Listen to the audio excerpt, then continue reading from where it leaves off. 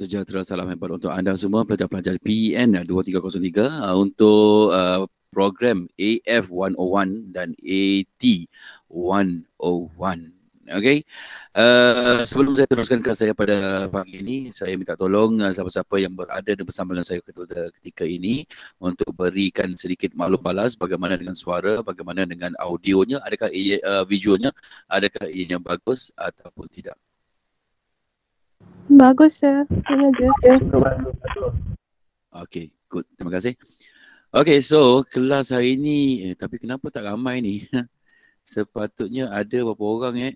Uh, kalau kelas anda ni, kejap. Sepatutnya ada uh, 40 orang. Okay, mana lagi pergi? Uh, baru ada semi- uh, 20 ni. Baru ada 19. Mana lagi pergi lain? Okay. okay, untuk memberkati kelas kita pada pagi ini, mari sama kita membukanya dengan membaca umul kitab Al-Fatihah. Kenapa? Hai? Kejap. Kenapa dekat saya semua senyap? Ha? Suara saya dengar tak suara saya? Nur Risha? Orang lain macam mana? Suara saya dengar ke? Dengar, dengar. Dengar saya clear. Tapi kenapa Nur Risha kata uh, diam? Semua senyap. Hmm, Nur Risha, uh, you keluar balik dan masuk balik. Mungkin line tak uh, line you tak bagus ke macam mana? Cuba cari balik. Ya? Okey, untuk memberkati kelas kita pada pagi ini, menasah sama kita membukanya dengan membaca umum kitab Al-Fatihah. Bismillahirrahmanirrahim. Alhamdulillahi Rabbil Alamin. Ar-Rahmanirrahim. Maliki yaumiddin. Iyaka na'budu wa iyaka nasta'in. Ihdinas siratal mustaqim. Siratal lazina an'amta alaihim. Ghairil maghdubi alaihim. Waladdallin. Amin. Amin. Ya Rabbal Alamin. Okay, so macam mana korang hari ni? Ha? Korang okey ke hari ni? Hmm? Okey, okey. Okey dia. Okay. So ada tak siapa-siapa yang berada di kawasan lokaliti uh, PKPD? Ada tak? Ada tak siapa-siapa berada di lokaliti uh, PKPD? Ada ke? Saya sir. Allah, Nur Hidayat. Duduk kat mana Hidayat? Selangor. Selangor. Selangor memang. Kalau Selangor memang Selangor uh, Kuala Lumpur kalau uh, memang dia PKPD. Tak boleh nak lari dah yang tu. Uh, Uh, sabar je lah eh, sabar je. Tapi tak apalah eh. Walaupun PKPD ke, proses pembelajaran kita tetap uh, masih lagi sama. Okay. Uh, as long as you dengar suara saya, you dengar saya, you nampak saya punya gambar, itu dah cukup okey dah tu. Cik Bunga, siapa Cik Bunga ni? Mana Cik Bunga? Cik Bunga, turn on mic kejap Cik Bunga. Cik Bunga. Ah, ya saya. Ha. You you duduk kat dekat kawasan mana Cik Bunga?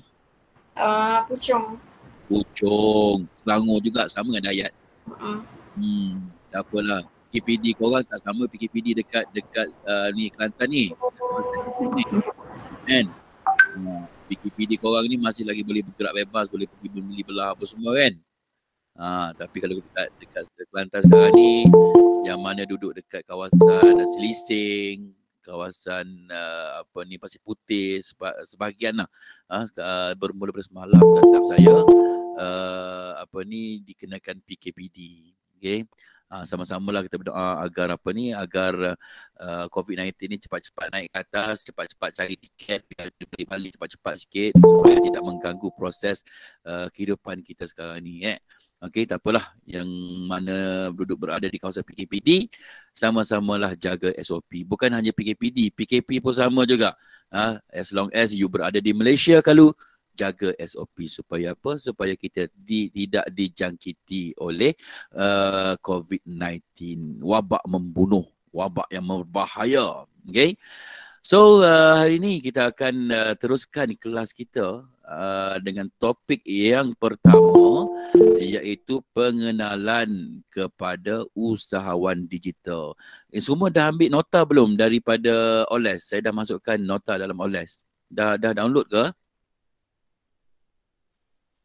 Anas, dah download ke? Uh, belum. Dah. Kenapa belum? Kesian saya. Saya semangat malam-malam pukul satu setengah pagi lagi saya masukkan nota. Semata-mata nak bagi kepada anda. Allah sedih rasa. Uh, Cik Bunga tapi saya dah dijangkiti macam mana? Allah Cik Bunga dijangkiti ke? Tak apa, tak apa, tak apa. Uh, jaga kesihatan, rasa sakit kalau, rasa tak sihat kalau makan ubat.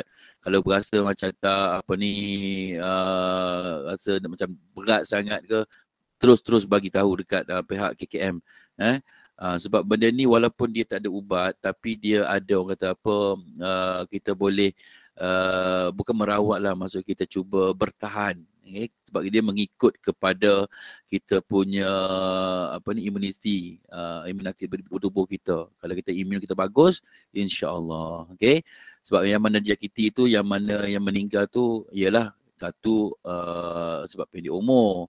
And then salah satunya ialah kebanyakan disebabkan oleh penyakit-penyakit lain yang ada pada dalam dalam badan. Okey. Muhammad Nur Hidayat, okey sir, sekarang saya dapatkan nota sir. Good, bagus. Ha, semangat macam ni lah kita nak. Kan? Ha, terus ambil nota kan. Ha, dah sir Samila, terima kasih. Cik Bunga sihat dah. Ha, Cik Bunga pada sihat. Alhamdulillah. Okey, so kita teruskan kelas kita. Yang mana tak ada nota, tak ada masalah. Saya pun memang share uh, link, apa ni share link pula.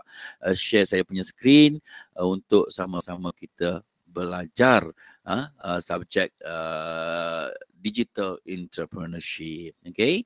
Right now, untuk topik yang pertama kita nak tengok kepada pengenalan eh, usahawan digital. Okay, apa sebenarnya usahawan digital? Okay.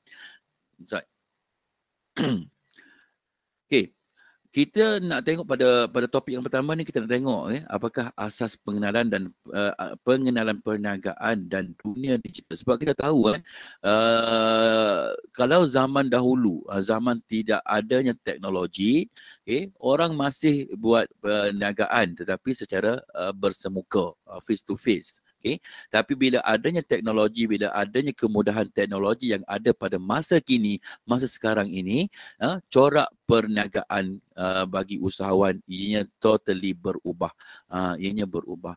Nak-nak pula sekarang ni adanya COVID-19, adanya pandemik COVID-19. Uh, lagilah berlaku perubahan ini di dalam corak ataupun di dalam uh, landscape perniagaan okay? sebab masing-masing orang tak boleh nak berniaga secara face to face orang tak boleh nak buka gerai. Orang tak boleh nak buka restoran. Okay? orang tak boleh nak buka kedai. So the uh, apa yang boleh mereka lakukan apa yang boleh mereka laksanakan untuk kelangsungan di dalam uh, dunia perniagaan ialah mereka berjinak-jinak dengan berjinak-jinak dengan dunia digital. Okay? Right kita tengok dahulu definisi, uh, definisi usahawan digital 1.1 okay. asas pengenalan dunia digital. Okay. Urusan perniagaan zaman sekarang tidak lagi one way. Apa maksud tidak lagi one way? Okay. Kalau kita tengok kepada uh, corak perniagaan dalam masa terdahulu sebelum adanya teknologi, okay, orang berniaga maksudnya one way artinya uh, peniaga kepada pelanggan mean peniaga hanya memberi maklumat kepada pelanggan. Itu maksud one way. Artinya kalau zaman dahulu dengan zaman tidak ada teknologi dengan ada tidak ada digital uh, usahawan ke usahawan digital okey uh, usahawan usahawan dia membuat uh, aktiviti perniagaan dengan memberitahu ataupun me- mewawarkan perniagaan mereka kepada pasaran dengan cara hanya memberi maklumat uh, hanya memberi maklumat daripada penjual kepada pembeli. Okay. Right, kita tengok sini. Sebelum internet, uh, sebelum adanya internet, okay, sebelum adanya internet, pemilik perniagaan hanya perlu menawarkan produk ataupun perkhidmatan melalui pengiklanan di televisyen, di radio atau apa uh, apa ni radio ataupun bercetak jika iklan tersebut berjaya menarik minat pelanggan jualan akan melonjak tinggi.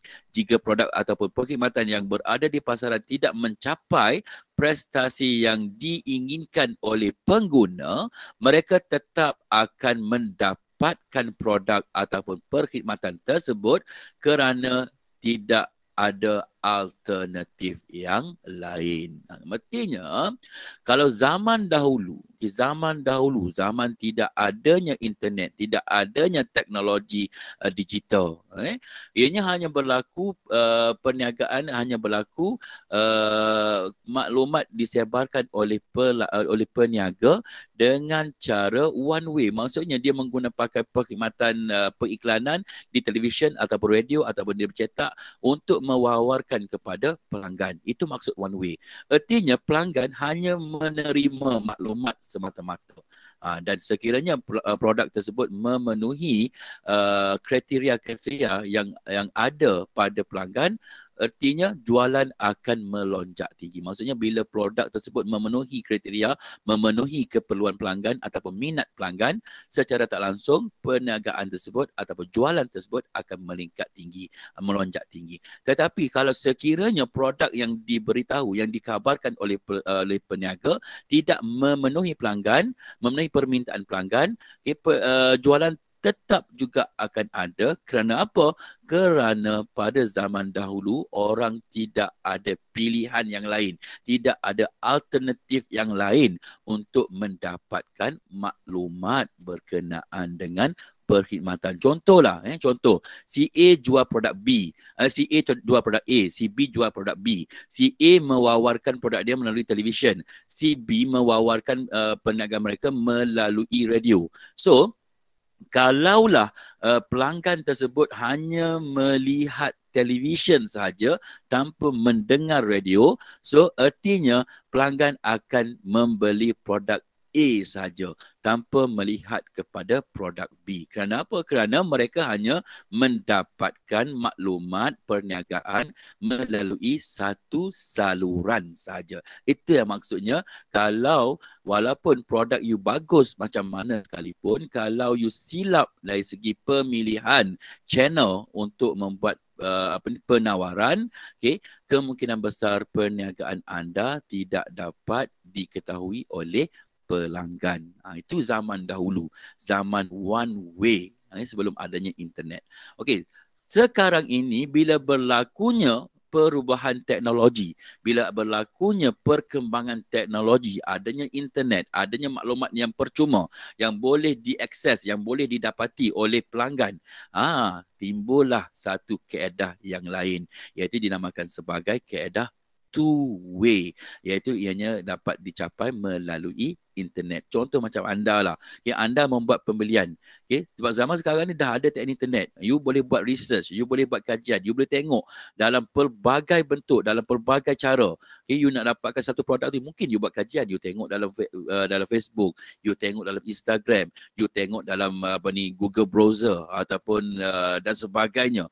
Okay, secara tak langsung, uh, corak perniagaan tadi ianya sudah berlaku perubahan. Okay. Sebab itu kalau kita tengok di sini dia kata sekarang ini para pengguna tidak mudah dipengaruhi oleh iklan-iklan yang terdapat di luar sana.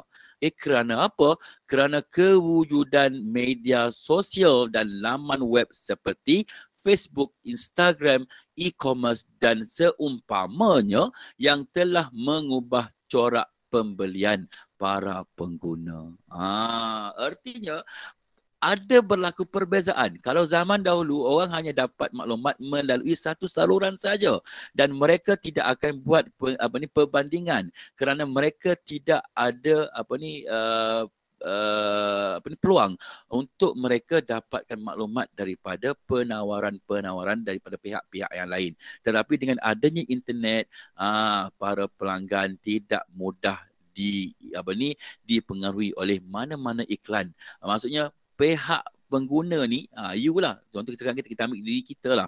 Kita sebagai pengguna, okay, sebelum kita membuat ni membuat pembelian, kita akan buat kajian. Ah so bila adanya kajian tersebut, itulah yang membuatkan berlakunya perubahan eh, di dalam corak pembelian daripada pengguna. Ah itulah ah sebuah sedikit berkenaan dengan ah, dunia digital. Di mana dunia digital dia dia ber, boleh mengubah corak pembelian dan juga boleh mengubah corak penjualan daripada penjual dan juga daripada pembeli. Okay, right.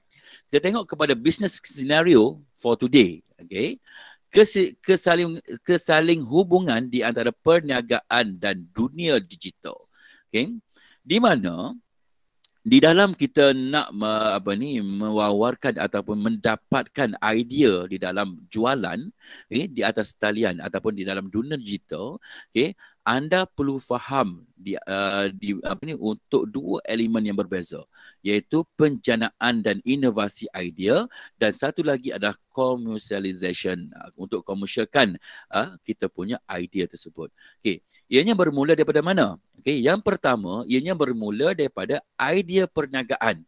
Ah, maksudnya di sini sebab sekarang ni kita kita lihat diri kita sebagai usahawan digital. Okay. Bila anda ingin berada dalam dunia usahawan digital, okay, anda perlu mengetahui, okay, anda perlu faham bagaimana untuk mendapatkan idea perniagaan. Sebab ianya berbeza dengan zaman dahulu. Okay, zaman dahulu kalau you ada idea perniagaan, you terus pasarkan dalam dalam pasaran, okay, orang akan beli because of orang tidak ada pilihan yang lain. Okay, dan orang pun akan dapat maklumat melalui satu saluran saja. Tapi bila adanya dunia digital, okay, anda kena pastikan idea perniagaan anda tersebut memang betul-betul diterima oleh pasaran. Okay. Bagaimana cara untuk kita mendapatkan idea tersebut? Okay. Melalui SEO, Search Engine Optimization. Ah, okay. Sebab saya dah bagi tahu sebelum ni apa itu Search Engine Optimization. Tapi yang ini saya just bagi tahu secara umum saja. Artinya, first untuk kita dapatkan idea perniagaan, eh, kita kena cari dahulu Search Engine Optimization. Artinya, okay, contoh, okay, kalau you nak jual tudung, okay, kalau you nak jual tudung, you kena tahu uh, sama ada dalam pasaran tersebut, adakah ada penerimaan terhadap tudung tersebut. Ah, so bagaimana cara untuk kita mengetahui penerimaan tersebut? Ah, dengan dua keadaan sama ada dengan menggunakan pakai Google Trend ataupun keyword planner. Okay, untuk keyword planner ni saya tak akan ajar kepada anda because of keyword planner ni dia adalah keadaan berbayar. Ha, kita sekarang ni kita elakkan dahulu untuk berbayar. Kita pergi dahulu yang mana yang percuma dan ianya berkesan. Okay, untuk kita um, memastikan perniagaan kita tadi berjalan dengan lancar. Okay, so untuk mendapatkan idea dari segi penerimaan pelanggan, kita cari dahulu SEO, Search Engine Optimization melalui Google Trend ataupun ada satu keadaan lagi yang percuma adalah melalui uh, Google Suggest. Uh, untuk yang tu saya akan ajar selepas ini tapi kena ingat kepada saya lah takut saya tak ingat untuk saya ajar kepada anda. Okay? Right. Setelah kita mendapat pengesahan idea melalui Google Trend, uh, barulah kita akan masuk kepada peringkat yang ketiga iaitu mengetahui asas-asas perniagaan.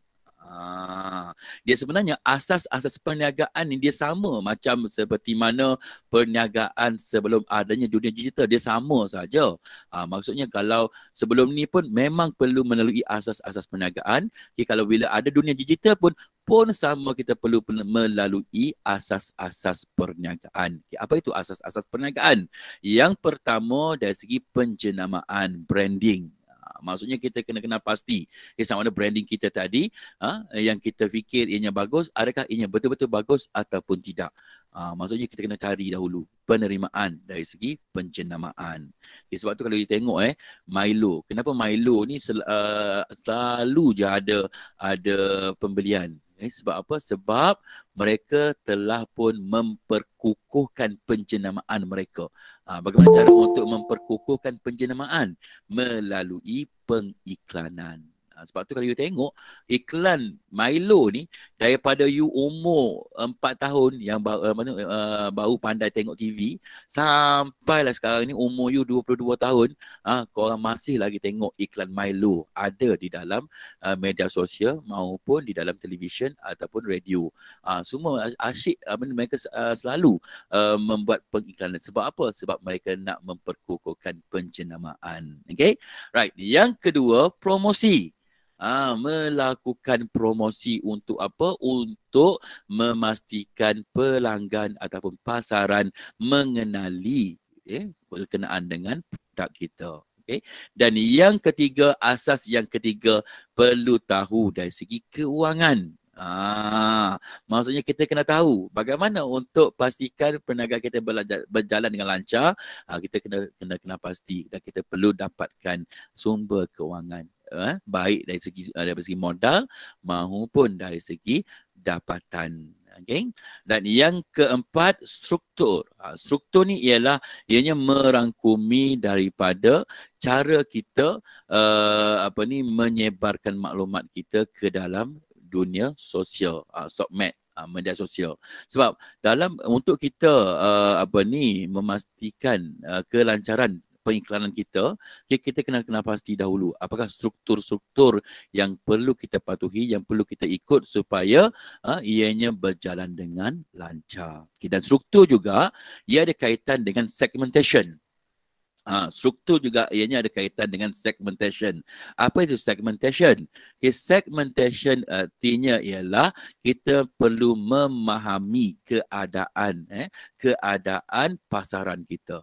Nah, di mana segmentation dia ada banyak. Eh, dia ada uh, physiographic, dia ada geographic, uh, socio uh, socio-geographic, macam-macam lagi. Lepas ni saya akan pergi satu persatu. Okay? Right. Dan yang kelima, peraturan dan etika. Ah, yang ini kita sebagai uh, ni usahawan, okay, kita kena faham okay, berkenaan dengan peraturan dan etika-etika di dalam dunia perniagaan. Okay, kenapa perlu kita faham? Okay, sebab kita dalam dunia perniagaan kita kena kita ada satu etika yang harus kita patuhi.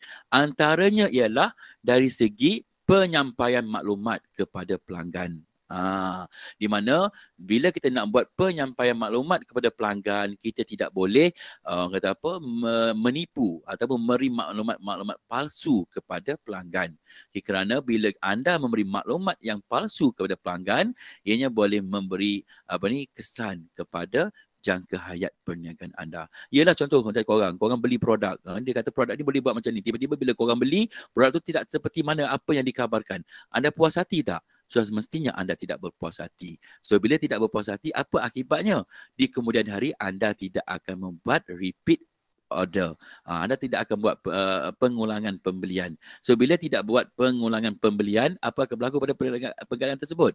Perniagaan tersebut akan bungkus. Itu antara salah satu etika yang harus dijaga, yang harus dipatuhi oleh uh, jurujual ataupun peniaga. Okay, right. Itu adalah bahagian penjenaan, penjan, uh, penjanaan, penjanaan dan inovasi idea.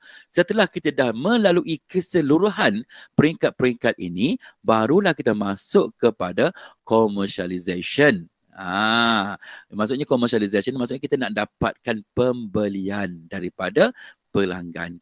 Okey, untuk kita mendapatkan pembelian daripada pelanggan, kita kena tahu bagaimana cara untuk sampaikan maklumat tersebut kepada pelanggan. Ah, okay, contoh kalau sebelum ini okay, orang menyampaikan maklumat melalui pengiklanan radio, pengiklanan media, uh, tulis ataupun media cetak. Okay, so sekarang ni uh, kita perlu fikir bagaimana cara untuk kita menyampaikan maklumat sebab ianya berlaku perubahan di dalam dunia digital dari segi penyampaian maklumat untuk kita berkomunikasi dengan pelanggan. Okey, bagaimana cara untuk kita berkomunikasi dengan pelanggan? Okey, dengan cara yang pertama kita boleh menggunakan pakai Facebook sebagai platform untuk kita menyampaikan maklumat.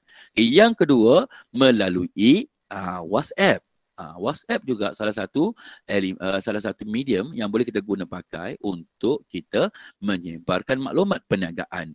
Okay, yang ketiga adalah melalui Instagram. Okay, maksudnya kita menyampaikan, kita buat posting perniagaan kita di dalam Instagram.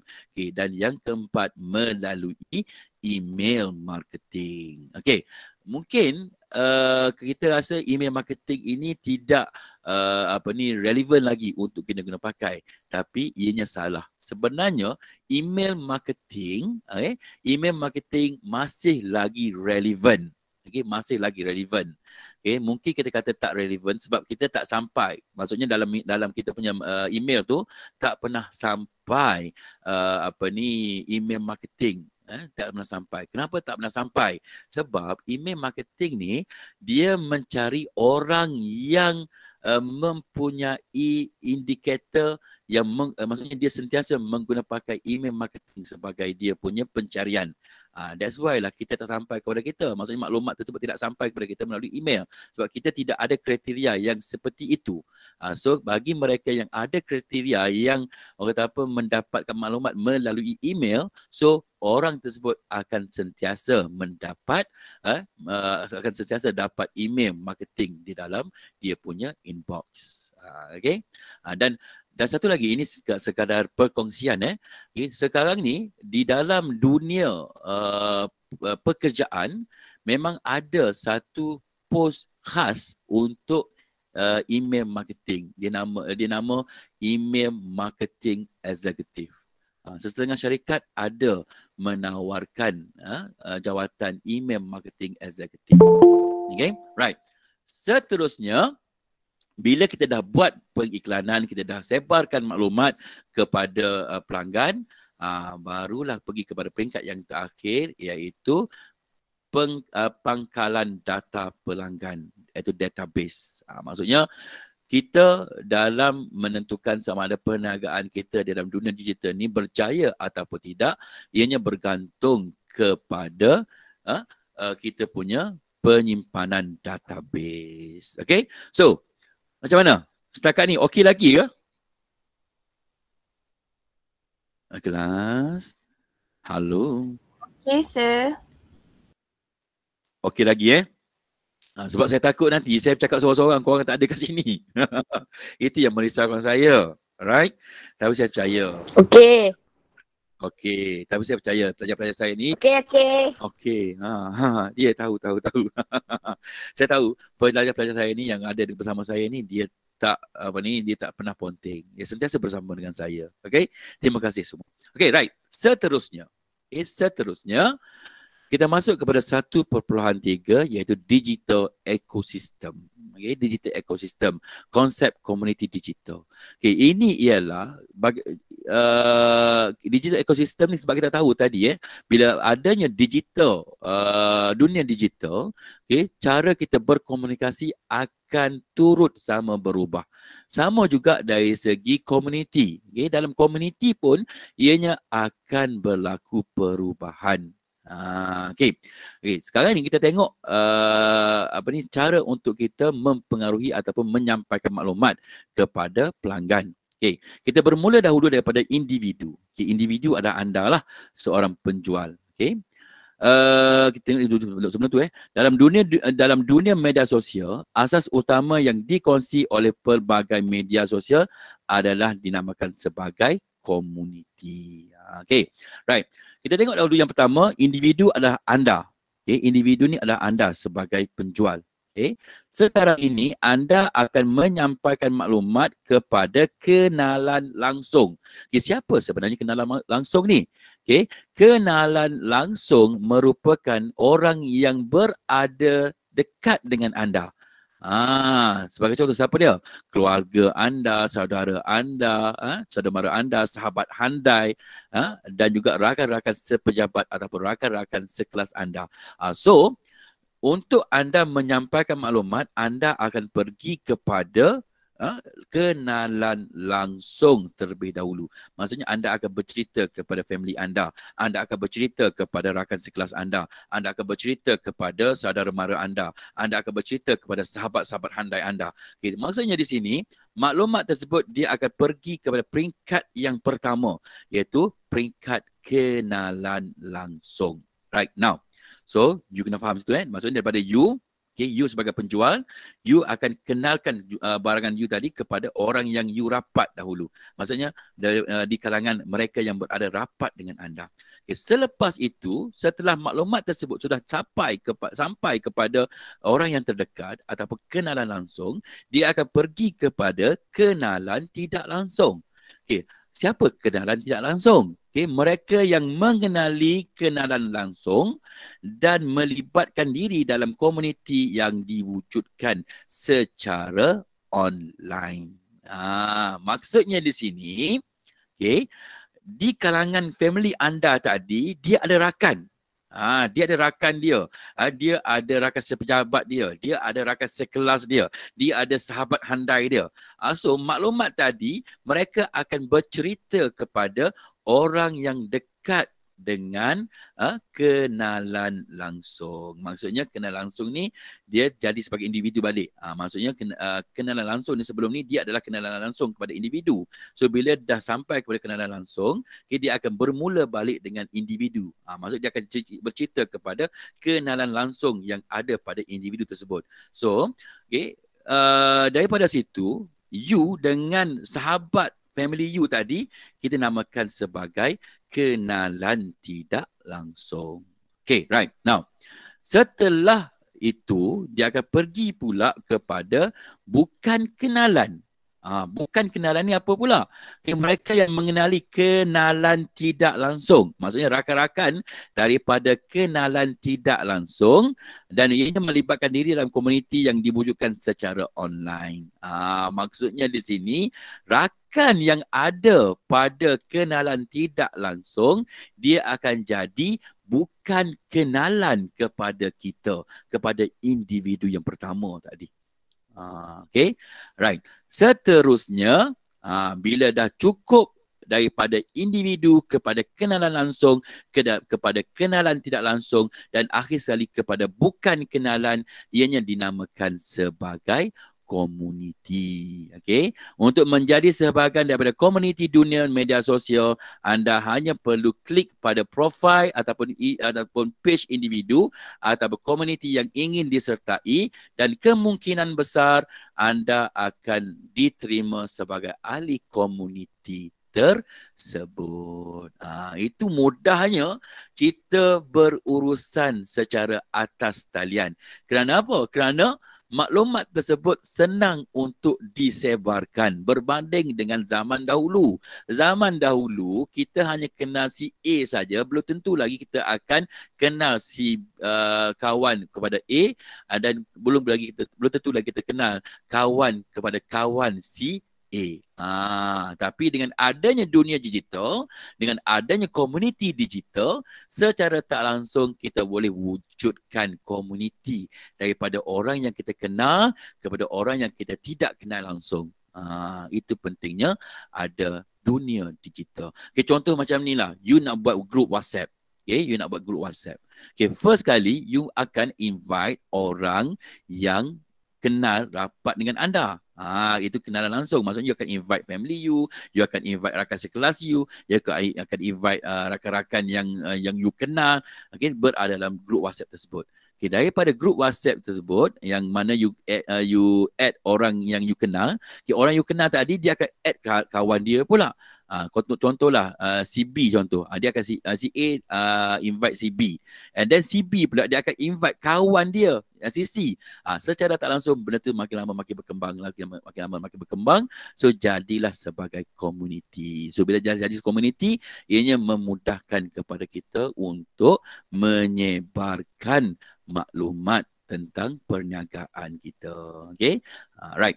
Kewujudan uh, multiplier effect di mana ahli komuniti menjadi semakin ramai akibat penambahan kenalan tidak langsung dan bukan kenalan adalah di, uh, di antara penyebab utama komuniti mudah berkembang. Uh, dengan wujudnya komuniti yang sangat besar keahliannya, seorang usahawan itu mampu menggunakannya sebagai platform okay, untuk memasarkan produk ataupun perkhidmatan dengan lebih mudah. Ah, maksudnya bila adanya multiplier effect ni, ah itulah dia, dia makin lama makin berkembang, makin lama makin berkembang, makin makin lama makin berkembang secara tak langsung bila dah dapat satu jumlah yang besar, ah jumlah besar kemungkinan kita tak kenal pun orang yang di bawah di bawah di bawah sana. Tapi walaupun mereka tidak dikenali tetapi mereka dapat menerima maklumat yang kita sampaikan. Kalau grup WhatsApp paling maksimum berapa orang? 150 eh 250 eh 250 kan? Grup WhatsApp ke satu orang eh 250 kot WhatsApp saya. Siapa tahu maklumat uh, grup WhatsApp paling maksimum berapa orang boleh masuk dalam grup WhatsApp? Hmm. Siapa tahu? 256. Ah, 256. Yes, betul. Okay. So, kalau grup WhatsApp dia paling maksimum 256 orang. Tapi kalau grup di dalam Facebook, okay, grup yang kita wujudkan dalam Facebook, ianya tidak ada limit. Uh, okay, boleh? Right, itu pentingnya kita wujudkan community digital. Right now, kita tengok introduction to Facebook, Instagram dan juga website. Okay. Right, sebab sekarang ni kita nak berkenalan dahulu eh, berkenalan terlebih dahulu. Selepas ini baru kita masuk kepada tajuk-tajuk untuk setiap bahagian. Uh, okay, kita berkenalan dahulu. Okay, Facebook. Okay, di, di antara anda, siapa yang tidak ada Facebook? Ada tak? Yang tidak ada account Facebook? Ada ke? Semua ada ke? Ada, ada. Tak ada. Ada, sir. Ada. Ada. Siapa tak ada angkat tangan? Saya nak tengok. Putri Aina. Siapa lagi? Wan Farihan, Farihanas. Cik Azman. Ha, Dini Zakaria kata saya baru buat sir. Ha. Dini Zakaria you, you ada ada invite saya sebagai, sebagai friend ke? Ha? You ada request sebagai friend ke? Ha, sebab saya ada, ada terima uh, uh, tak ada uh, sebaiknya bukan, bukan bukan you sebab saya ada menerima apa ni uh, ada seorang tu saya tak kenal siapa-siapa Uh, nampak sangat dia punya account tu baru wujud tapi dia request sebagai friend. Patutlah follow aku semalam. Ha, Haikal. dia dah berborak sama dia lah. Okey, tak apa. Yang tak ada, minta tolong wujudkan. Ha, minta tolong sangat-sangat wujudkan account Facebook. Ha, ha, Aish mana ada Jini Zakaria. Okey, minta tolong wujudkan account Facebook sebab apa? Untuk you wujudkan uh, account uh, Facebook page, anda perlu ada account Facebook terlebih dahulu. Okay? Right. Kita berkenalan dulu untuk Facebook. Facebook merupakan satu platform uh, uh, laman sosial okay, di mana terdapat komuniti yang terdiri daripada kenalan langsung, kenalan tidak langsung dan bukan kenalan. Uh, kenalan langsung ni maksudnya uh, rakan yang kita kenal lah uh, rakan yang kita kenal contoh. Misalnya kata Dini tadi dia baru uh, baru wujudkan account tadi. Uh, so dia boleh invite dulu uh, rakan-rakan yang dia kenal dalam kelas dia ni uh, untuk sebagai sahabat dia. Uh, untuk dia sebagai sahabat dia. Okay, and then pada situ dia boleh berkawan pula dengan sahabat si A pula. And dia boleh berkawan pula dan seterusnya. Maksudnya dia tanpa had tapi ingat kalau untuk Facebook account, okay, Facebook account okay, dia punya limit adalah 5000 orang sahaja. Ha, maksudnya dia boleh berkawan seramai 5000 orang sahaja. Okay, angka yang ditetapkan oleh Facebook buat masa ini. Ha, maksudnya Facebook sekarang ni buat masa ni dia hadkan orang ni boleh berkawan seramai 5000 orang sahaja. Okay. And then seterusnya, posting pada wall hanya dapat dilihat oleh 3% hingga 5% jumlah rakan. Ha, maksudnya di sini, kalau contohlah, you ada 100 orang rakan. Okay. Daripada 100 orang rakan anda, okay, hanya 3% hingga 5% sahaja yang akan menerima posting anda di Facebook account. Uh, so kalau 3% berapa? 3% that mean 3 orang sahaja daripada 100 ataupun 5 orang sahaja daripada 100. Okay. Angka ini juga diberubah-ubah mengikut ketetapan algoritma uh, uh, algoritma, algoritma Facebook. Ha, sebab algoritma Facebook ni kadang-kadang dia berubah-ubah. Dia kadang-kadang dia mengikut minat. Ha, contoh masa kata orang tu minat pasal fashion. Ha, so kalau you post pasal fashion, kemungkinan besar orang yang minat pasal fashion di kalangan rakan anda akan menerima eh, maklumat tersebut kepada mereka. Sebab al- uh, ni dia dia ber, dia sentiasa berubah. Uh, Facebook ni dia sentiasa berubah. Uh, ada kadang-kadang mengikut minat, ada kadang-kadang mengikut tempat, ada kadang-kadang mengikut uh, apa ni keadaan semasa. Contoh macam katalah keadaan semasa sekarang ni orang tengah heboh pasal COVID-19 contoh. Uh, so kalau rakan-rakan you yang ada tu uh, sentiasa membuat posting pasal pasal apa ni pasal COVID-19. So bila you buat uh, apa ni you buat uh, posting berkenaan dengan COVID-19, kemungkinan besar rakan you tadi tu yang buat posting pasal COVID-19 pun akan menerima maklumat tersebut. Uh, itu algoritma eh algoritma yang ditetapkan oleh Facebook yang sentiasa berubah-ubah. Okay, right. Itu untuk profile ataupun untuk personal account. Okay, kalau untuk page, ah, ianya berbeza dengan uh, personal account. Okay, ianya berbeza. Di mana kalau untuk page, okay, page memang tujuan dia adalah untuk berniaga. Kalau account personal, tujuan dia adalah untuk bersosial. Ah, nampak?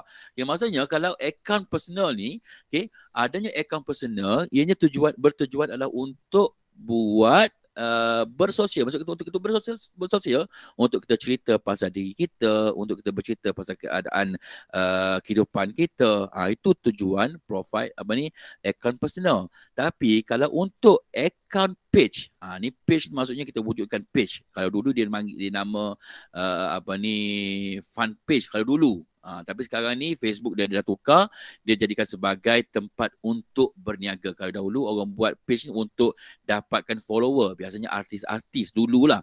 Ha, tapi sekarang ni wujudnya page adalah untuk berniaga. Okay. Usahawan perlu mempunyai profil Facebook terlebih dahulu. Ha, nampak tak saya kata tadi?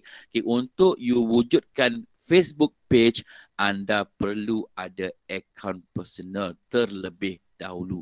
Ataupun ianya dinamakan sebagai profile. Okay. Funds mengikut page, page uh, Facebook terdiri daripada kenalan langsung, kenalan tidak langsung dan bukan kenalan. Posting anda pada wall dapat dilihat uh, 3% hingga 5%. Angka ini juga berubah mengikut ketetapan algoritma Facebook. Okay. Dia sebenarnya walaupun dia uh, pergi kepada 3% ataupun 5% sama seperti akaun personal tetapi ianya boleh ditingkatkan dengan cara bagaimana? Dengan cara membuat pembayaran. Ha, itu tujuan adanya Facebook page. Okay. Bila Facebook page maksudnya bila ada Facebook page kita boleh tetapkan uh, semua follower kita atau likers kita yang ada dalam page tersebut akan menerima maklumat melalui keedah FB Ads. Okay, ini contoh profile uh, account personal. Okay, uh, ini contoh uh, page. Uh, siapa ni? Uh, remaja. Siapa nama, nama nama apa ni? Saya tak kenal ni. Nama apa ni? Ha? Siapa ni? Nampak? Ha? Anda uh, anak Andy Lala ke? Sheila Hamzah. Sheila Hamzah. Ah, Sheila Hamzah. Uh, Sheila Hamzah eh. Uh, betul lah tu. Alright. Okay, seterusnya. Kita berkenalan pula dengan Instagram. Okay, apa itu Instagram? Okay. Ianya merupakan sebuah aplikasi online untuk berkongsi gambar dan juga video di platform media sosial seperti Facebook, Twitter, Tumblr dan Flickr. Ah, okay. Seperti Facebook, setiap pengguna Instagram mempunyai akaun tersendiri di mana sesiapa yang berminat untuk mengikuti atau follow akaun Instagram tertentu boleh memohon untuk mengikuti akaun tersebut. Ha, maksudnya Instagram dengan Facebook ni dia hampir sama je. Sama macam mana? Sama dari segi untuk kita berkawan dengan orang tersebut. Ha, kalau Facebook kita nak uh, kita request sebagai friend. Uh, so kita tekan je friend request. So kita tunggulah orang tu accept. Kalau orang tu accept dapat kita berkawan dengan dia. Tapi kalau kita orang tu tak accept, uh, kemungkinan besar kita hanya jadi follower dia saja. Uh, okay. Tapi kalau untuk Instagram, pun sama juga orang tu kena request dahulu. Ha, okay. Kena request terlebih dahulu barulah boleh follow orang tersebut. Okay.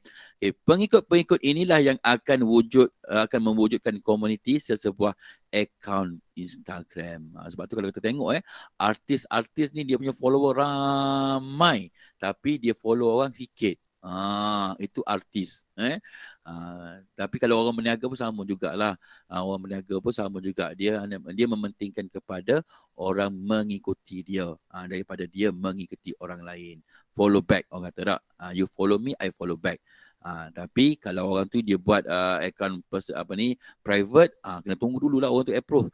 Ah, kalau orang tu tak approve, tak, uh, selagi itulah dia tak boleh nak nak apa ni nak follow orang tu. Uh, that's why uh, kalau saya, kalau kita berada dalam dunia perniagaan, kita jangan buat private. Uh, kita kena buat public. Uh, so, kita tukarlah ke, kepada account uh, business. Okay, account business ni dia tak perlu approve, tak siap saya lah. Okay. Ciri-ciri is, uh, Instagram. Right.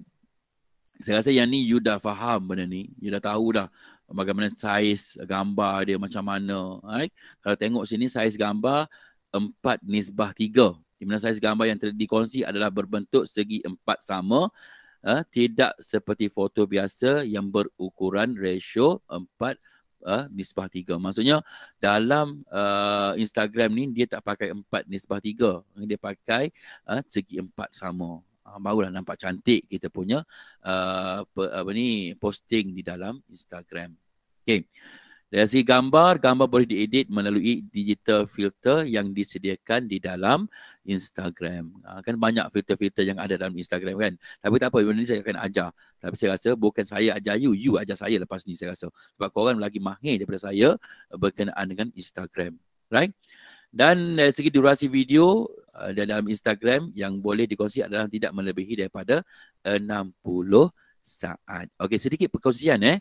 Ha, sebab uh, saya kadang-kadang saya punya tips uh, dalam pengiklanan ni saya akan berikan semasa saya mengajar. Okey.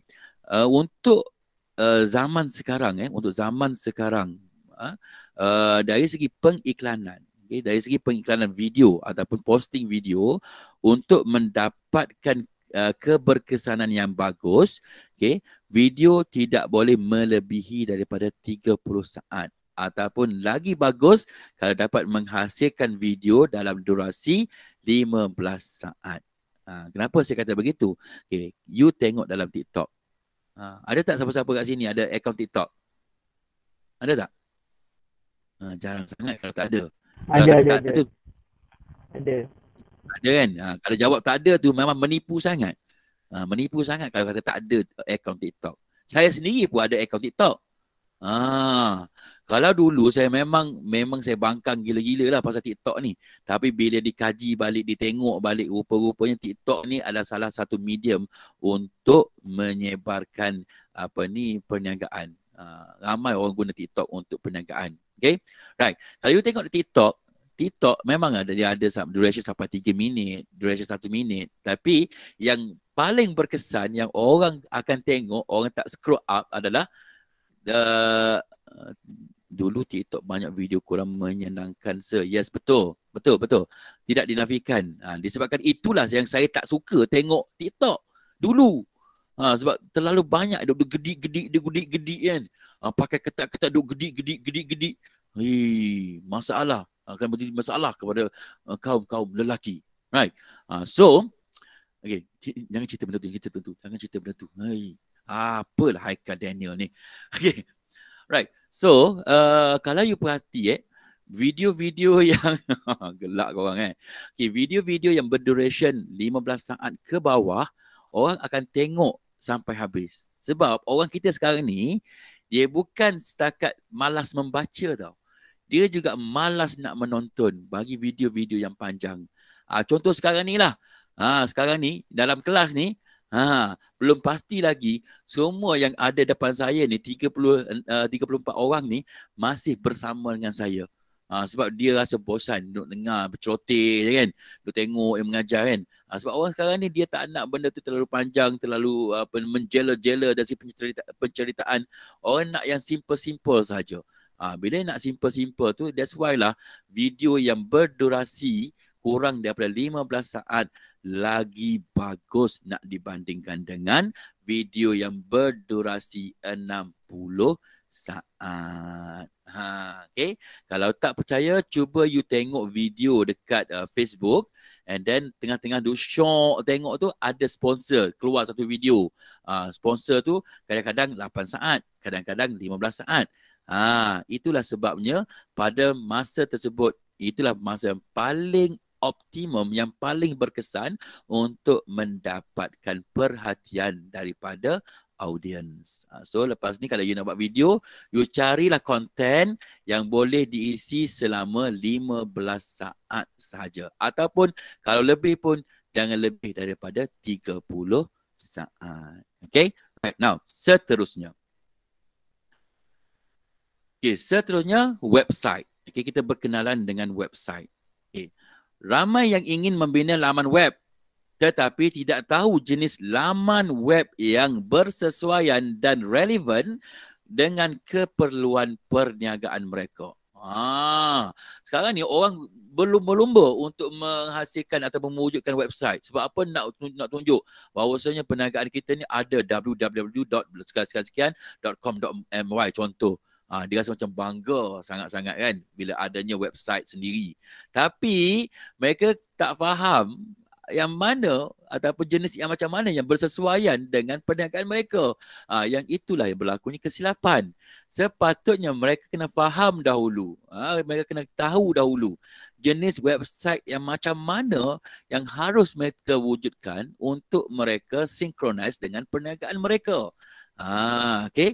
Sebab dalam website ni dia ada kedua kategori yang berbeza iaitu uh, laman web berinformasi dan laman web e-digital ataupun e-commerce. Okay. Laman web informasi ni apa dia? Ada dua pula. Ada dua jenis pula. Satu static, satu dynamic. Ah, kalau static ni non-editable. Kalau dynamic editable. Maksudnya kalau untuk static ni kita tak boleh nak buat pengubahsuaian bila kita buat uh, apa ni posting di dalam ataupun penetapan di dalam website. Itu static. Kalau dynamic ni dia sentiasa boleh berubah-ubah.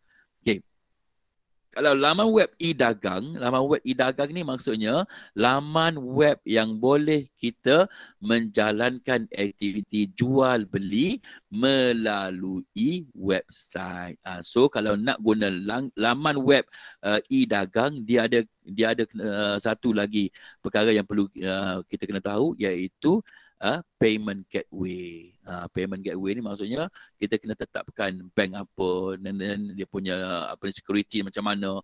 Uh, itu adalah laman web e-dagang. That's why saya kata kalau perniagaan kita ni hanya untuk mewawarkan perniagaan untuk mendapatkan order and then tidak memerlukan uh, apa ni aktiviti jual beli melalui website, cukuplah kita guna pakai laman web informasi iaitu sama ada static ataupun dynamic. Tapi kalau misal kata kita nak menggunakan pakai website kita tu untuk aktiviti jualan dan jual beli, uh, barulah kita pilih laman web e-dagang ataupun e-commerce. Okay. Kenal pasti tujuan membina laman web sebelum memilih jenis laman web yang bersesuaian. Jika tujuannya sebagai business card ataupun browser mengenai perniagaan di internet, laman web berbentuk informasi adalah pilihan yang sesuai kerana pengunjung laman web boleh mendapatkan latar belakang perniagaan, maklumat mengenai produk ataupun perkhidmatan yang disediakan oleh kita dan yang ketiga untuk maklumat uh, maklumat perniagaan seperti email, nombor telefon dan alamat untuk berurusan. Nah, itu saya kata. Maksudnya di sini kalau kita perniagaan kita ni hanya untuk mendapatkan maklumat, menyampaikan maklumat, memberitahu pasal produk, eh, memberitahu tentang latar belakang syarikat, memberitahu tentang alamat, nombor telefon ataupun email kita, uh, cukuplah kita ambil laman web yang berjenis yang uh, jenisnya ialah informasi yang berbentuk informasi. Tidak perlu kita membuat laman web yang uh, yang jenisnya web e-dagang ataupun e-commerce. Okay? Right. Itu saja untuk topik yang pertama. Okay? Selepas ini kita akan masuk topik yang kedua. Right. So, you nak rehat dahulu ataupun nak teruskan? Plus Rehat Syed. rehat dulu. Okay. So saya saya bagi masa uh, sehingga jam uh, 10, uh, 12 uh, 12.15 minit. Kita rehat uh, 5 minit. Lepas tu kita sambung balik untuk topik yang kedua. Okay. So uh, kita rehat dahulu.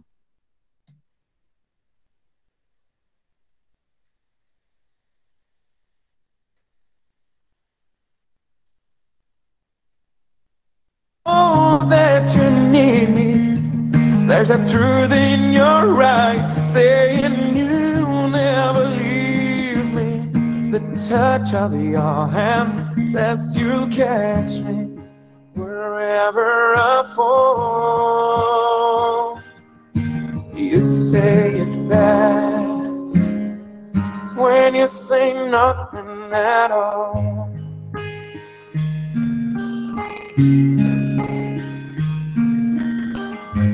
The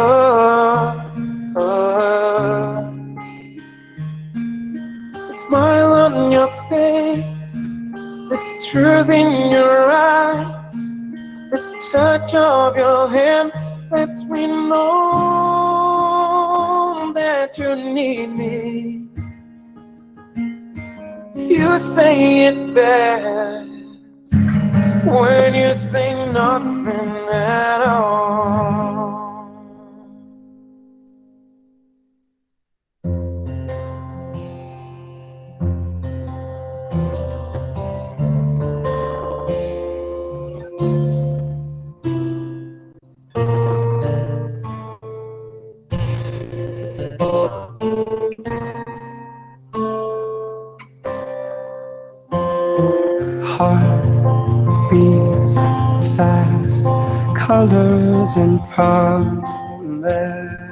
Promises. How to be brave? How can I love when I'm afraid to fall? But watching you stand alone, all of my doubt suddenly goes away somehow. One step closer. I have died every day waiting for you. Darling, don't be afraid. I have loved you for a thousand years. I love you for a thousand more.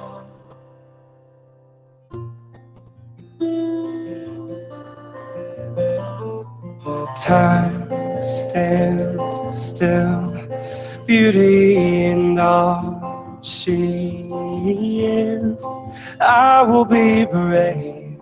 I will not let anything take away what's standing in front of me. Every breath, every hour has come to this. One step closer. I have died every day waiting for you. Darling, don't be afraid. I have loved you for a thousand years. I'll love you for a thousand all along, I believed I would find you. Time has brought your heart to me. I have loved you for a thousand years. I'll love you for a thousand more. One step closer.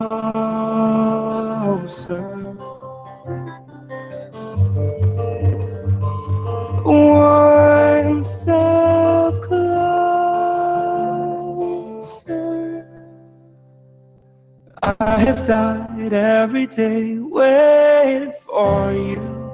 Darling, don't be afraid. I have loved you for a thousand years. I'll love you for a thousand more.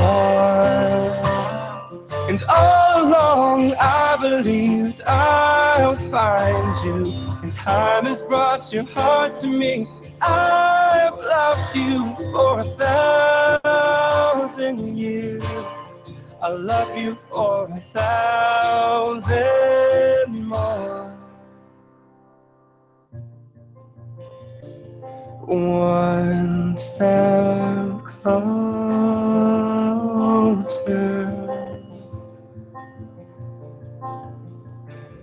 One step closer.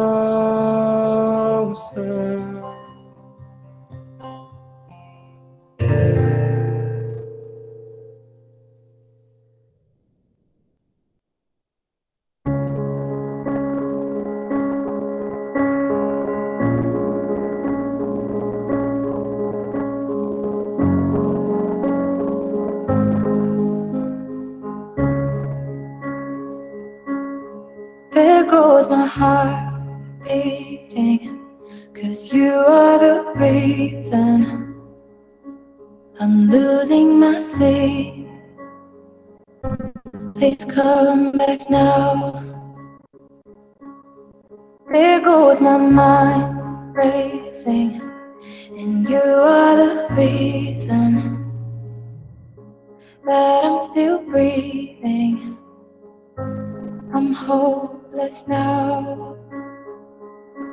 I'd climb every mountain and swim every ocean just to be with you and fix what I've broken. Oh, cause I need you to see that you are the reason.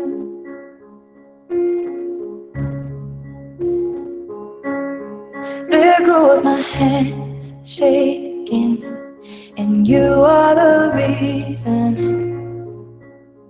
My heart keeps bleeding. I need you now. If I could turn back the clock and make sure the light defeated the dark, I'd spend every hour of every day keeping you safe. I'd climb every mountain and swim every ocean just to be with you and fix what I've broken.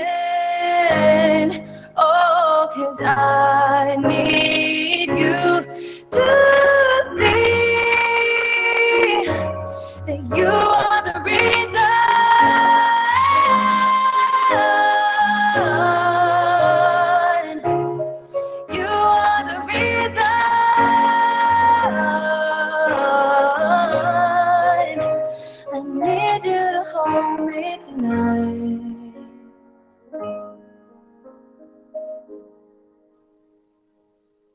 I'd climb every mountain and swim every ocean just to be with you and fix what I've broken. Cause I need you to see that you are the reason.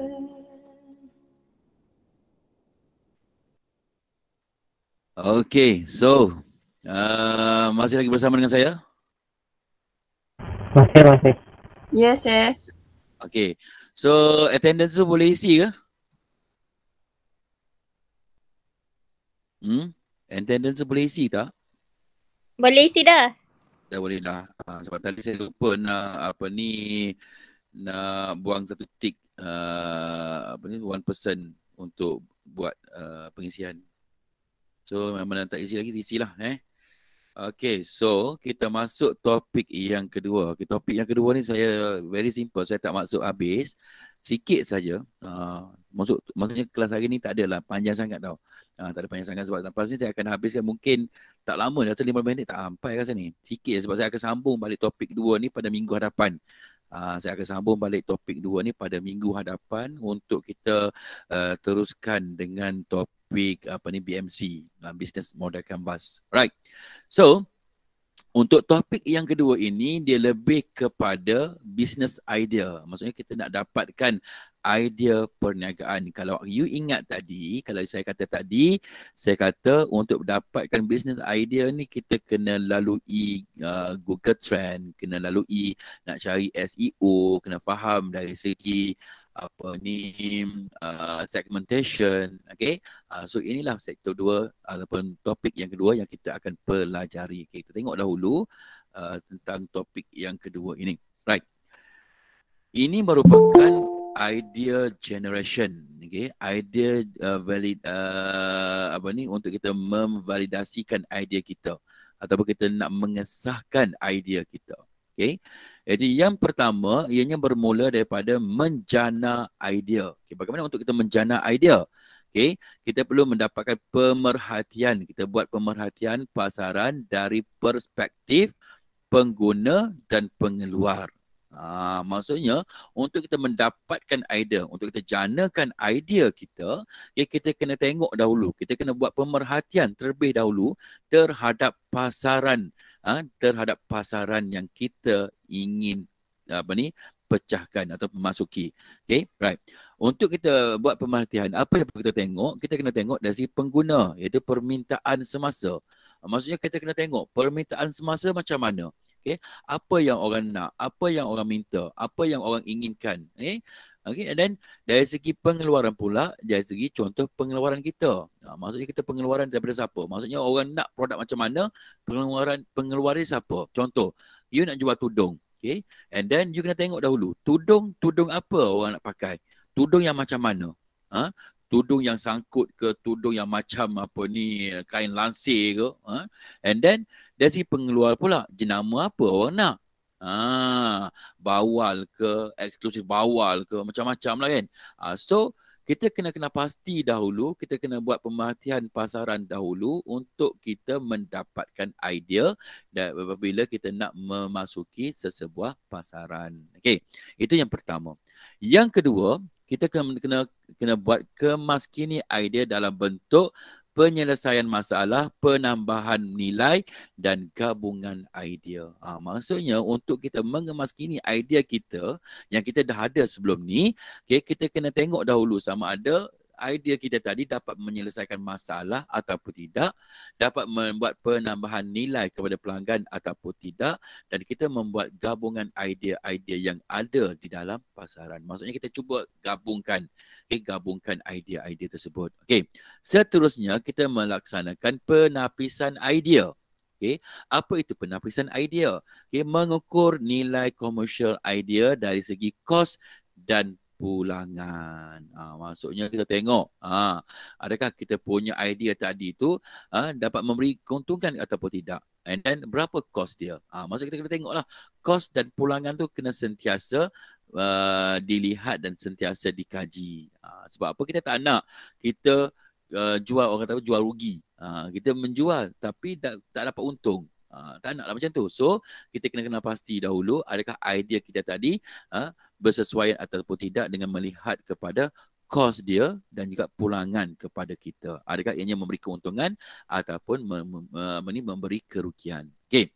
Setelah kita dah buat penapisan idea melalui keuntungan tadi, untuk rugi tadi, kita pergi kepada membangunkan idea. Ha, maksudnya bila kita dah ada dapat idea yang solid yang dah dapat maksudnya dapat memberi keuntungan kepada kita barulah kita membangunkan idea tersebut. Proses menukarkan idea kepada bentuk realiti. Yang maksud idea kita tadi itu kita tukar kepada bentuk realiti. Bentuk yang boleh ditampaikan ataupun ditawarkan ke dalam pasaran. Okey seterusnya kita melakukan test uh, buat uji kaji Okay, menguji dan mendapatkan maklum balas produk atau perkhidmatan daripada pasaran. Ha, kalau zaman dahulu untuk keadaan test ni, ianya mungkin mengalami kesukaran kalau zaman dahulu, zaman one way dulu. Tapi dengan adanya internet, dengan adanya teknologi, okay, peringkat testing ni ianya boleh dibuat dengan mudah. Ha, di mana sebagai contoh kita boleh buat, kita buat teaser, uh, pengenalan terhadap pasaran. Maksudnya kita bagi tahu, kita mewawarkan kepada pelanggan berkenaan dengan eh, berkenaan dengan produk kita. Jadi kita tengok sama ada mereka menerima ataupun tidak. So kalau misalnya kata ada positive feedback from the audience, so kita terus uh, boleh teruskan kita punya idea. Tapi kalau misalnya kata kita punya idea tersebut ada apa ni uh, tidak ada penerimaan dari pelanggan, so kita kena buat pengubah suaian. Sebab tu kalau kita tengok di situ, testing ni dia ada dua dia ada dua uh, apa ni uh, dua tempat dia akan pergi. Satu pelancaran, satu lead user. Uh, di mana kalau lead user ni men, uh, uh, pendapat pengguna di pasaran. Maksudnya kalau misalnya katalah pendapat tersebut uh, mempunyai negative feedback, uh, so kita buat pengubah suaian lah. Uh, tapi apabila adanya uh, positive feedback, kita akan pergi kepada uh, pelancaran itu produk atau servis dilancarkan kepada pasaran. Dan bila dah lancarkan kita pergi kepada yang terakhir iaitu penilaian. Okay, di mana penilaian adalah mengkaji semula produk atau perkhidmatan yang berada di pasaran. Dari segi prestasi dan sambutan penambahbaikan perlu dilakukan jika perlu. Okey sekiranya nak uh, berlakunya penambahbaikan kita akan pergi kepada lead user kembali. Maksudnya kita mendapat pandangan daripada pelanggan maksudnya uh, daripada idea kita tadi dia akan pergi sampai sini sampai test and then pergi kepada pelancaran dan dia, dia akan pusing dekat sini pelancaran menilai lead user and test and then uh, bila terima pergi balik pelancaran penilaian pergi pada lead, lead user sampailah habis ini punya uh, jangka hayat perniagaan kita. Sebab tu saya kata perniagaan atas talian dengan adanya dunia digital ianya memudahkan proses jual beli di dalam pasaran. Alright. Okay, now seterusnya kita masuk kepada 2.2 segmentation. Ah, okay. Untuk segmentation tadi, kalau you perasan, saya kata tadi, eh, adanya struktur okay, adanya struktur. Okay, untuk kita memvalidasikan perniagaan kita dalam uh, chapter yang pertama tadi okay, untuk kita mewujudkan struktur bagi memahami uh, pelanggan untuk mengenali pelanggan ianya perlu melalui segmentasi. Okay, di mana segmentasi ini terbahagi kepada empat bahagian ianya terbahagi kepada empat bahagian iaitu geografi, demografi, sosio uh, sosioekonomi dan psikografi. Okay, apa itu geografi? Okay, geografi adalah dari segi lokasi untuk kita pasarkan produk kita. Ah, artinya kita kena faham, eh? kita kena faham dari segi lokasi tempat tersebut. Adakah tempat tersebut bersesuaian ataupun tidak dengan uh, produk yang kita hendak tawarkan produk ataupun perkhidmatan yang kita hendak tawarkan ke dalam pasaran. Contoh, uh, you keluarkan produk uh, apa ni pelancongan contoh. Eh, uh, bila you nak buat uh, apa ni produk pelancongan, you kena tengoklah kawasan tersebut adakah kawasan yang bersesuaian untuk you sebarkan you punya pengiklanan untuk you jual produk you ke dalam pasaran tersebut. Uh, sebab kita kena tengok lokasi ni dari segi uh, apa ni lokaliti dia macam mana, penerimaan dia macam mana, penduduk dia macam mana uh, dan sebagainya. Okay. Kalau jenis orang tu memang tak suka pergi berjalan, memang tak no point lah untuk you masuk dekat pasaran tersebut. Sebab orang tak suka berjalan, tak suka melancong. Buat apa you pergi kat kawasan tersebut? Ha, kalau you masuk memang you rugi lah. Tak dapat sebarang jualan. Alright. So you must to look at the geography, lokasi untuk kita mem, uh, ni untuk kita pasarkan produk kita. Okay, yang kedua adalah demografi. Uh, dari segi umur, jantina. uh, anda perlu lihat dari segi umur jantina ke kawasan tersebut. Uh, maksudnya ianya perlu bersesuaian dengan produk yang kita hendak tawarkan. Right? And then yang ketiga, sosioekonomi. Okay, untuk sosioekonomi ini, ia melihat kepada pendidikan dan pendapatan. Uh, maksudnya dari segi pendidikan dan pendapatan dia saling berkait. Kalau biasanya orang yang berpendidikan tinggi biasanya pendapatannya juga ada tinggi. Tapi kalau pendidikan dia rendah kebiasaannya pen, apa ni pendapatan adalah rendah. Tapi sekarang ni kita tak boleh kata macam tu because of kadang-kadang orang yang meniaga yang uh, dia punya uh, pendidikan setakat PMR kadang-kadang pendapatan dia tu melebihi daripada orang yang uh, mempunyai degree. Ha, sebab sekarang ni orang terlalu ramai orang berniaga dan perniagaan mereka berjaya. That's why lah uh, kita kadang-kadang uh, untuk pendidikan dan pendapatan ni dia tak boleh synchronize. Uh, kadang-kadang kita boleh tengok kepada pendidikan sahaja dan kita kena tengok pendapatan sahaja. Ah, okay. Right. Dan the last one is psikografi iaitu nilai ataupun gaya hidup setempat. Okay. Gaya hidup dia macam mana? Ah, kalau gaya hidup dia uh, orang yang mewah, ah, so bolehlah kita masuk tempat tersebut untuk pelancongan. Tapi kalau misalnya kata gaya hidup dia biasa-biasa saja, ah, mungkin ini tidak sesuai untuk kita memasuki kawasan tersebut. Okay. Right. Kos iklan mampu dikurangkan melalui mesej yang dia menepati sasaran. Okey, bila kita nak buat FB ads, okey, ataupun kita nak buat sebarang uh, pengiklanan sama ada melalui sosial media ataupun melalui media cetak, radio ataupun televisyen, okey, sekiranya kita memahami keempat-empat segmentasi ini, ianya dapat mengurangkan eh, kos untuk kita buat pengiklanan. Tapi kalau kita tak faham, kita tidak membuat kajian terhadap segmentation, segmentasi, pemetaan, okay, ianya akan mengakibatkan eh, kita mengeluarkan kos yang tinggi dengan result yang kurang. Ah, so sekarang ni kita nak result yang bagus dengan kos yang kurang. So untuk dapatkan kos yang kurang, result yang bagus, uh, keputusan yang bagus, kita perlu faham, perlu kaji terlebih dahulu pemetaan segmentasi ini. Okay, right now. Kita masuk kepada sales communication in digital world. Okay, untuk kita berkomunikasi dalam dunia digital untuk membuat penjualan, okay, kita kena faham okay, dari segi segmentasi produk atau servis yang dihasilkan, penuhi kehendak ataupun mampu milik. Maksudnya di sini, untuk anda berkomunikasi dengan pelanggan, anda kena faham dahulu dan anda perlu buat dahulu keempat-empat bahagian ini. Okay, sebab idea ni kita dah buat sebelum ni. Okay, kita dah kita dah ada idea dah. Dan idea kita dah ada uh, validasi dah. Dah ada orang kata penerimaan. Tapi untuk anda berkomunikasi dengan pengguna, anda kena faham empat bahagian ini. Apa itu empat bahagian tersebut? Yang pertama, segmentasi yang tadilah. Uh, maksudnya anda perlu buat segmentasi pemetaan. Setelah itu, anda perlu Uh, melihat kepada produk yang anda hasilkan okay, sama ada ianya memenuhi kehendak pelanggan ataupun sebaliknya. Okay, setelah memenuhi kehendak pelanggan, anda juga perlu melihat kepada harga. Ah, adakah harga barangan tersebut ataupun perkhidmatan tersebut adakah ianya harga mampu milik ataupun sebaliknya? Ha, kalaulah harga yang you buat tu terlampau tinggi, ha, mana kan mungkin orang akan berminat dengan produk anda. Tapi kalau misal kata harga you tinggi tapi kualiti you bagus, kemungkinan ianya dapat memecahi uh, permintaan pelanggan. Sebab orang dia memang memang ada orang yang nak harga murah tapi tidak fikir tentang kualiti tapi kebanyakan orang okey mereka akan uh, jadikan harga tu sebagai nombor dua setelah melihat kepada kualiti tak percaya, cuba you tengok BMW ataupun Mercedes. Kenapa orang beli? Kenapa ada orang buat pembelian terhadap um, BMW walaupun harganya mahal?